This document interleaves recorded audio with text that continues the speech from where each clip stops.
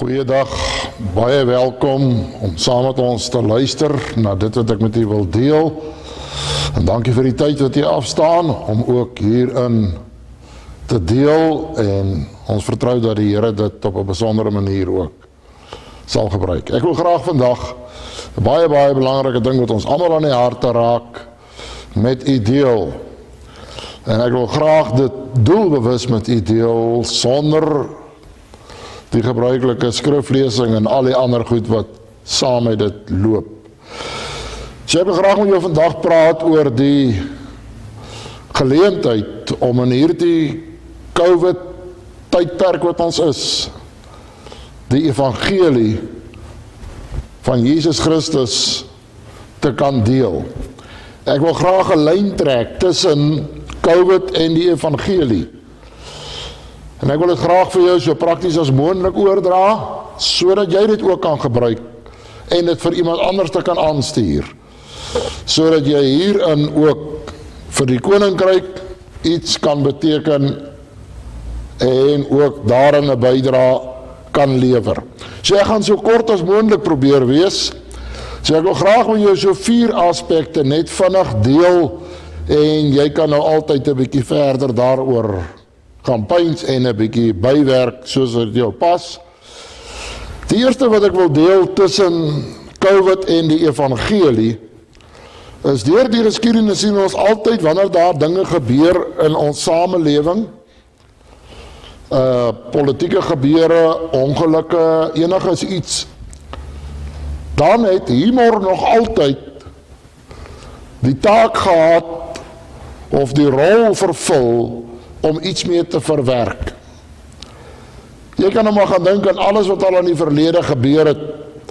En die oomblik wanneer dit gebeur, veral in die tyd waarin ons nou lewe met sosiale media, dan loop die grappies en die humor daarin.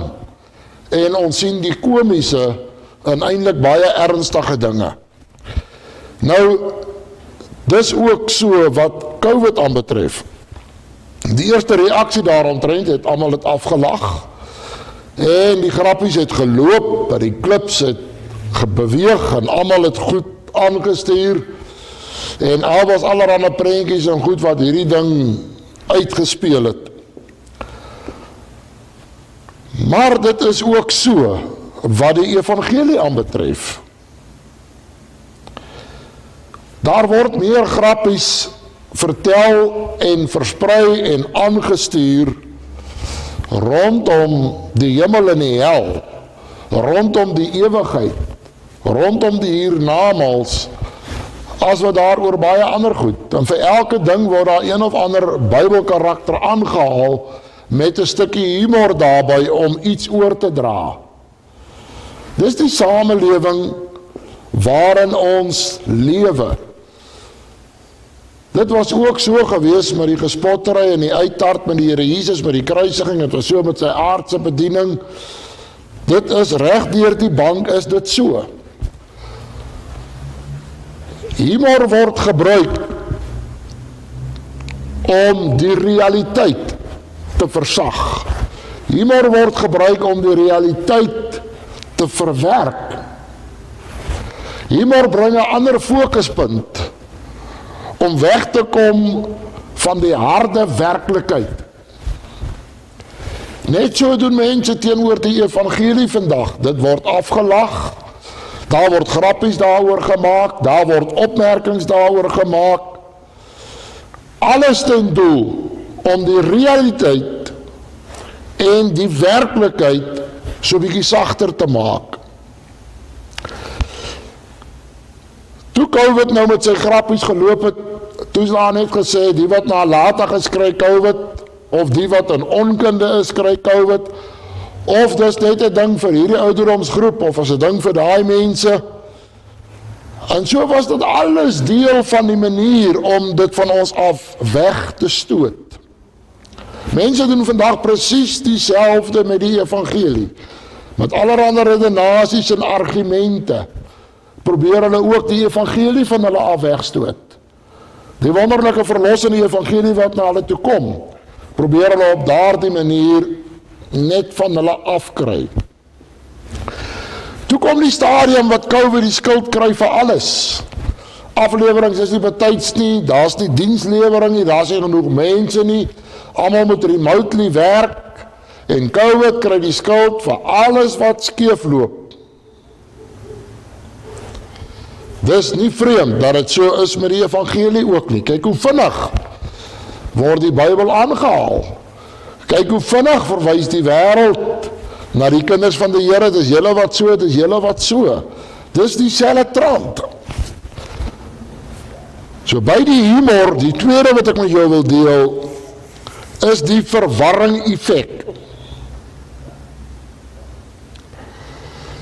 En dit het 'n geweldige belangrike rol en taak vanuit die sielevyand se vertrekpunt om verwarring te saai. Hy's 'n meester daarop. En so kom COVID ook en hy saai verwarring. Nou is COVID nie daar ver nie. Nou is die grappies verby. Dis nou oor en uit. Dis nou realiteit. En COVID vat om ons. En wat is nou die groot topics. Wie se medikasie is nou reg? En nou is die kundiges met mekaar besig oor en weer en oor en weer. En hierdie ene staan die kant toe en daai een staan daai kant toe. En elkeen het sy bewyse. En elkeen het sy standpunte en elkeen het al sy goeie argumente. En hierdie twee pole staan teen mekaar. En ons belewenis as dit mos nou die inenting of ivermectin is nou die twee groot perde wat voor staan. En terwyl hierdie kundiges met mekaar besig is, word ons onkundiges meesters op die gebied. Want ons praat agter ander ouens aan. En ons luister na hulle, ons vind aanklank by hulle, watter kant toe ook al. En ons spreek elkeen ons meerdere kennis uit. En ons maak van onsself meesters. Dis wat die evangelie aanbetref presies dieselfde. Terwyl mense om ons sterf, is die kerk ook besig om te redeneer en te debatteer en oor te argumenteer. En hierdie ene is met sy doopwater bietjie of baie en daai ene is met sy sakramente watter kant toe ook al En daai ene is op 'n werkebus en daai ene jy moet nou net nog 'n bietjie geloof bysit, dan maak jy dit vir die hemel en die volgende ou klim op sy tradisiebus terwyl mense om ons verlore gaan. As ons kliphard aan die debat, kliphard aan die gesels. En dit dra daartoe by om die verwarring te bring. En is 'n gewellige gevaarlike ding. Ons almal weet as ons na die wêreld gebeure kyk van die anti-kris wat aankom is, die skrif is duidelik daaroor. Maar gaan kyk net rondom dit die uiteenlopende standpunte daaroor. Saam met hierdie verwarring wat gebring het, is daar sekere belangrike aspekte wat ook verlore gegaan het. Ons is nou nie meer so ingestel om oral se koers te vat en oral aan die boek te skryf.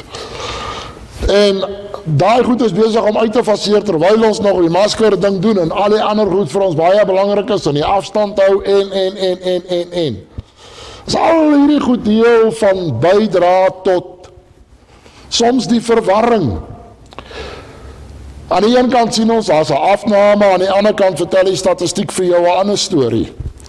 Terwyl COVID besig is om families te verpletter terwyl mense om my en jou besig is om te sterf en die res met mekaar besig is oor al die argumente en slim planne. Die derde wat ek by jou wil los wat vir my 'n duidelike lyn trek tussen hierdie twee en dit is nou so 'n bietjie undercover. En dis die verskuilde agenda uit 'n besigheidsoogpunt rondom COVID. Let 'n bietjie op. En wat ek bedoel die verskuilde agenda, dis hierdie verskuilde bewustheid van die werklikheid van die dood, maar ons wil dit nou nie so hard sê nie. Dit maak dit soms baie moeilik. Want daar word nie reguit en hard daaroor gepraat nie. Maar as jy na die sosiale media kyk en jy lees die koerante en kyk op die TV en kyk na advertensies.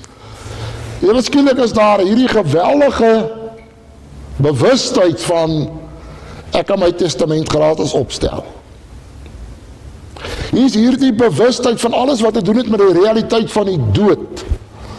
En jy gesien op jou selfoon, iemand verwag jy gaan doodgaan want elke ou wil vir jou stuur vir jou 'n SMS met een of ander lewenspolis.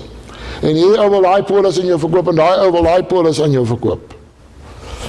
Ek gee vir jou 'n eenvoudige voorbeelde, goed met 'n verskuilde agenda. Net so gebeur dit ook dat mense met die evangelie met 'n verskuilde agenda kom. En ons praat nie meer so reguit en helder en duidelik oor die feite en oor die realiteit nie. Daarom word daar van so saggemaakte evangelie gepraat. 'n Aangepaste evangelie. 'n One size fit all. Wat dit vir almal aanvaarbaar gaan maak. Hy moet saggies op die ore val. Dis 'n goedkoop evangelie. Maar dis nie die evangelie van Christus Jesus nie al bevat dit sy naam. Want dis 'n evangelie sonder sonde oortuiging. Maar kom ons kom terug na die realiteit toe.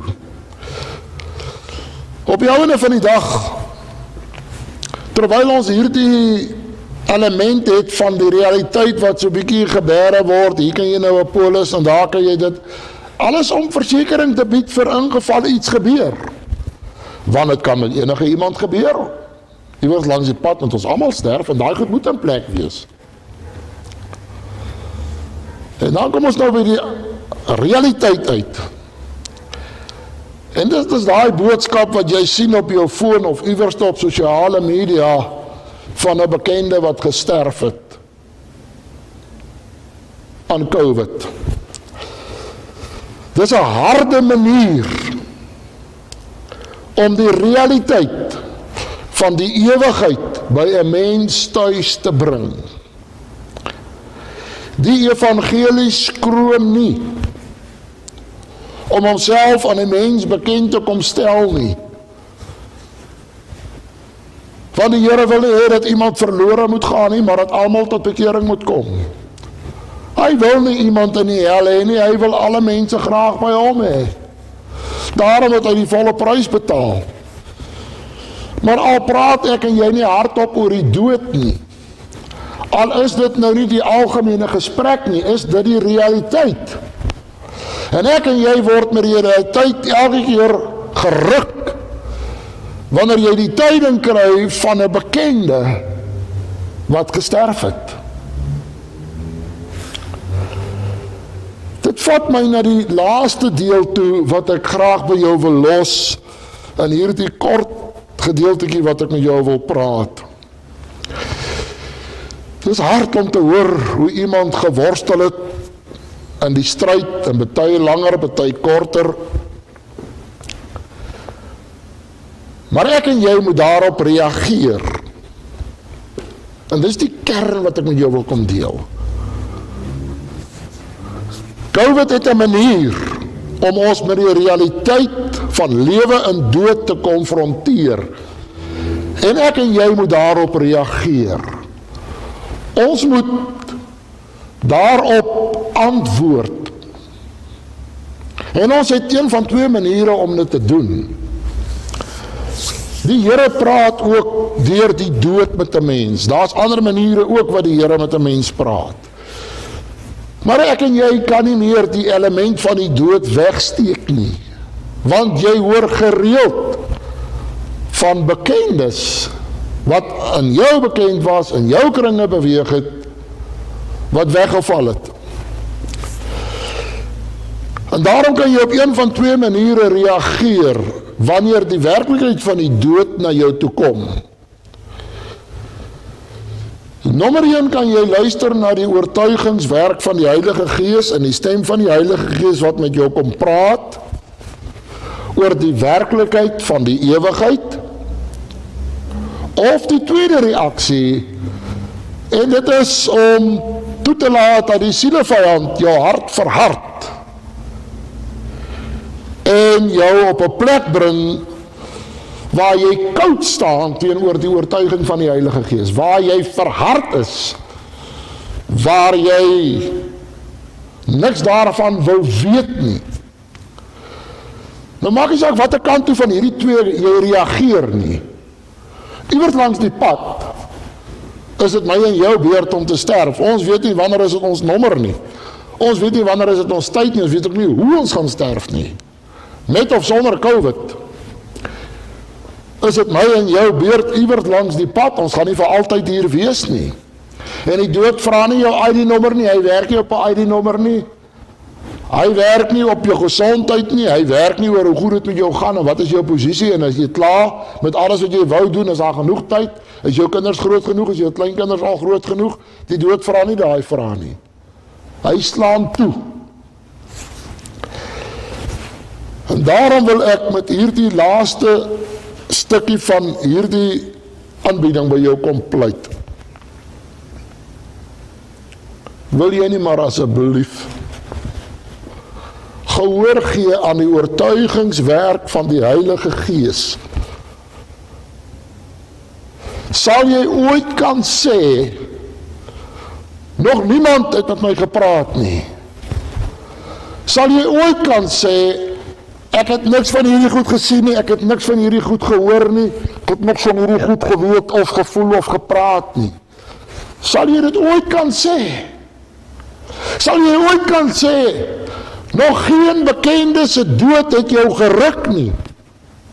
Sal jy ooit kan sê nog niemand se dood het met jou gepraat nie?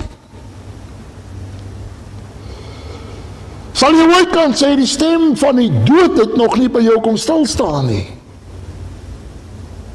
Nee. Daarom help dit nie om jou hart te verhard nie. Daarom help dit nie om teen te skop nie. Daarom help dit nie om humor te gebruik om hierdie oortuigingswerk van die Heilige Gees stil te maak nie. Dit help nie om die verwarrende elemente gebruik nie. Dit help nie om met 'n verskillende agenda met die Here te wil onderhandel nie.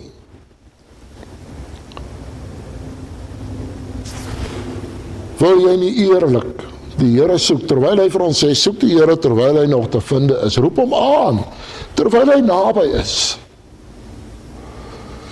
Wil jy nie eerlik jou gemoed voor die Here oopstel dat hy jou deur sy Heilige Gees kan oortuig van jou verlore toestand? Van jou verlorenheid voor hom. En daarmee wil ek nou hierdie laaste gedagte by jou los. Wat moet ek doen? As ek my hart oopstel en die Here met my praat en die Here my kom oortuig van my verlorenheid. Net drie goed wil ek nou by jou los. Nommer 1. Besef daai verlore toestand. Moenie daarteen stry nie, moenie daarteen redeneer nie. Besef dit want ons is almal verlore gebore. Nommer 2, bereken die koste wat dit jou gaan kos as jy die Here wil dien. Wat dit jou gaan kos om vrede met God te maak en om in jou lewe in te nooi en hom te dien. Daar's 'n kosteberekening want Jesus het 'n koste vir jou bereken. Jy het ook 'n koste om te bereken. En wanneer jy bereid is om daardie prys te betaal en vir die Here te sê hier is my lewe, ek maak klaar met my ou lewe. Die derde is om daardie volle oorgawe aan hom te maak en jou lewe aan hom oor te gee en hom in jou lewe in te nooi. Dan kom hy en hy maak van jou 'n nuwe skepsel. Hy maak van 'n helleling 'n hemeling. Hy maak van iemand wat verlore is 'n kind van hom. Hy maak van iemand wat die duiwel as vader het God sy vader. Hy alleen kan dit doen. En ek wil hê jy moet hieroor gaan stil word voor die Here terwyl die realiteit om ons is van die dood en ons is in hierdie era ons lewe heeltyd met ons eie veiligheid in gedagte is dit 'n geleentheid wat die Here ook in jou hartsdeur kom klop Gaan soek iemand om jou te help, gaan soek iemand om jou te praat. As jy niemand het nie, ek gaan vir jou my nommer los, jy kan vir my 'n WhatsApp stuur. En ek sal vir jou iemand kry wat watter area jy bly om met jou te deel. Mag die Here vir ons help dat jy hierdie woord sal versprei en dat die wonderlike verlossingswerk van Christus Jesus jou lewe in totaliteit sal kom herskep in hierdie COVID chaos waarin ons is. sien in hierdie chaos die liefde van die Here Jesus raak wat hom nog ontferm oor 'n verlore sondaar. Hy het nie sy rug op ons gedraai nie. En hy stel in jou ook belang. In hierdie tyd kom hy na ons toe.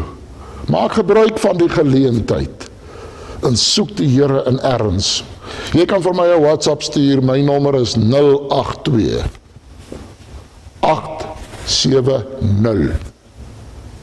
9986 Die Here help vir jou en die Here seën vir jou en stuur asseblief hierdie woord ook vir iemand anders te aan. Baie dankie dat jy geluister het.